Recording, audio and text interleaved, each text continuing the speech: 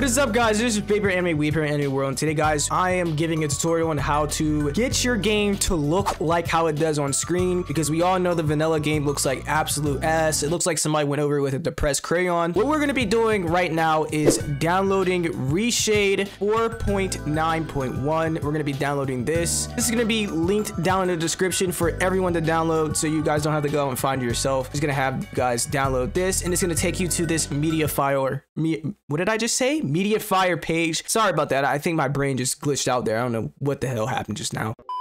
You're just gonna download it. I'm gonna download it and show you guys and walk you guys through on what you're supposed to do. Okay, so Reshade has downloaded. You should see it in your downloads folder. It should say Reshade underscore setup underscore 4.9.1 exe. This is what you should have here. We're just gonna open it real quick. Um, it's not that long of a process at all. Like it only takes like three minutes to install Reshade. So just click it, double click it, and then it should open up Reshade setup version 4.9.1. And it should say click here to select a game and manage its Reshade installation. So basically, this is pretty much an injector, all right? Reshade injects directly into your game, and this is how we're gonna make our game look good. So just follow me and everything will be fine. So just click here for it to detect all your games on your PC. We're just gonna select Xenoverse 2. If you're wondering why I have like 20,000 copies of Xenoverse 2 right here, it's because I just have a lot of copies of Xenoverse 2. I'm just gonna select one of them. It doesn't really matter to me. You're gonna click Use Selected Application. Once you do that, it'll say which rendering API does Dragon Ball Xenoverse 2 use. You're gonna click on Direct 3D 10 through 12. So you can click on that. It's gonna say Existing Reshade Installation Found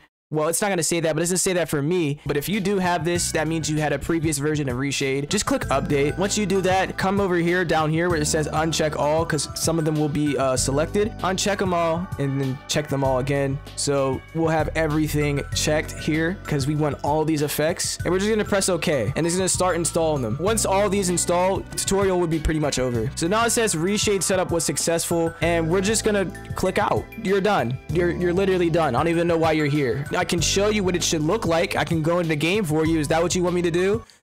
That's definitely what you want me to do. All right, let me stop playing and actually open up the damn game. Okay, guys, so we are in game right now, and if you guys just press the home key on your keyboard, you should have a menu popped up with reshade and all the effects on the side of the screen like this. Now, I already have a reshade preset here. I have a couple reshade presets here. These are my reshade presets that I've been working on and teasing from the past like couple months now, bro. But like, yeah, this is what it should look like right here. And if you press insert, you can enable and disable your shaders. This is how your game should look when you install my preset. This is how it's gonna look at first. I advise everyone to turn down their brightness because my shader makes everything look pretty damn bright. So I advise everyone to turn down their brightness and they will not be flash banged every time they open up the damn game.